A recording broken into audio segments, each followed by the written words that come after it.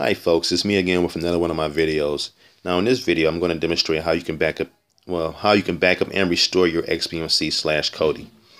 Now I do currently have a video out there that's that does demonstrate how to do the same process but this is an alternative to that method. So uh, what you're going to need is your file explorer that came with your device. Like for instance I have a Android device I'm, de I'm demonstrating on and if for some reason you can't find that file explorer. You can also go to the play store and then download es file explorer.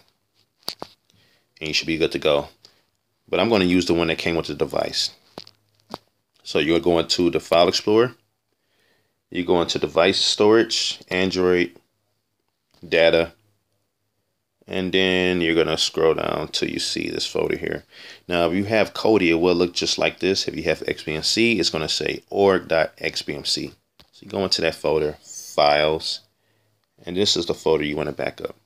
Now, if it's XBMC, it will say .xbmc, not .kodi. Since it says Kodi, that's why it says Kodi.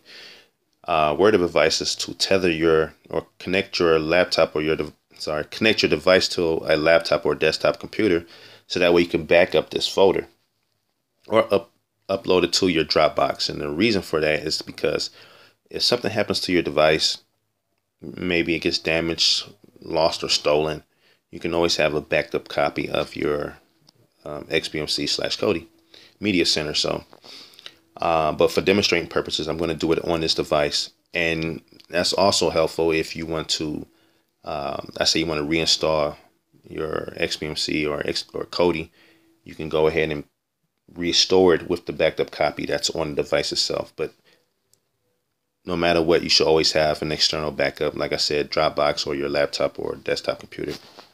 So what you would do is hold on to it, just so it's selected, press copy. And like for instance, I'm going to device storage and let's say I choose media and I would paste it here. Now I'm not going to paste it because for my backup it will take roughly five to 10 minutes and that's because all the data I have in there. So uh, for the sake of the video, I don't want it to, to, to drag out. But you would paste it into an easy to find location like that. Once that's done, uh, once you have that copy, you can go ahead and let's say you need to reinstall Kodi or XBMC, or let's say you have a new device. Go ahead and run XBMC or the Kodi and let that go through the full process so that way all the folders and files and um, settings are in place. Once that's done, you can exit out of XBMC, just close out completely. Then you're going to go back into the File Explorer.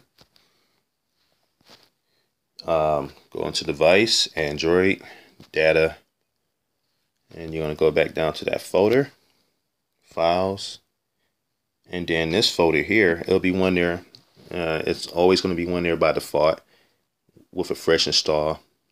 But since you have your backed up already, your, your copy that's backed up, you wouldn't need this one here because this one is a basic one. It won't have all your information in there.